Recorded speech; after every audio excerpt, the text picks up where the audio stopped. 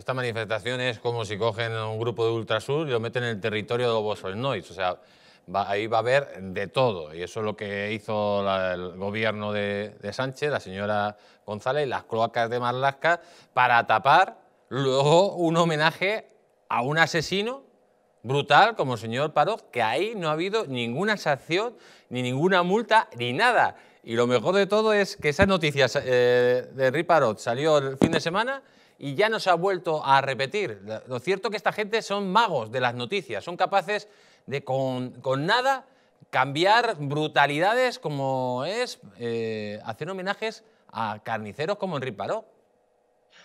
Así es, Ángel, hay que, hay que recordar a los espectadores que se le imputaron 82 asesinatos y fue condenado por 39 asesinatos a 4.800 años de cárcel.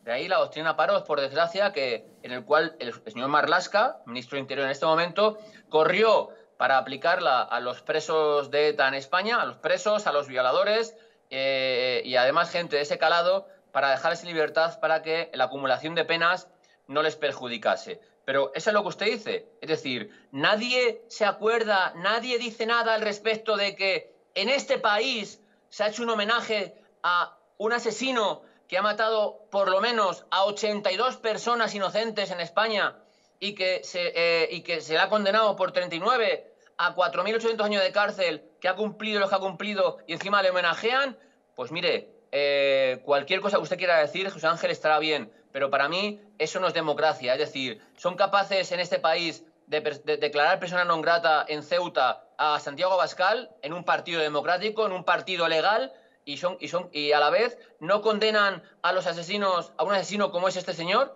Yo digo que ya le digo a Jesús Ángel que no entiendo a este país cada vez menos, pero que al igual que utilizan los argumentos de forma espuria, como es el caso el de una manifestación xenófoba, homófoba, perdón, que como usted ve, cuando ha salido la delegada del gobierno a decir que la autorizó ella, parece que tampoco interesa. ¿Se da cuenta cómo utilizan o usan los argumentos según les interesa o según quieren? Es vergonzoso. Pero es que vergonzoso que esta gente dijera lo que dicen que han dicho contra los homosexuales, porque digo que es claramente un delito de odio tipificado en el 510 del Código Penal. ¿Por qué motivo estas feministas tan radicales no les, no les denuncian, eh, imputan un delito de odio? ¿Por qué motivo la Fiscalía Especial Antiodio no les, no les, no les eh, abre diligencia directamente y les llama a declarar para imputarles un delito? Pues Jesús Ángel, esas son de las cosas que pasan en este país, que nadie se explica y sin embargo parece que ocurren por interés eh, de alguien en particular. Por el interés de ese personaje llamado Marlasca, que está, es el sicario del señor Sánchez.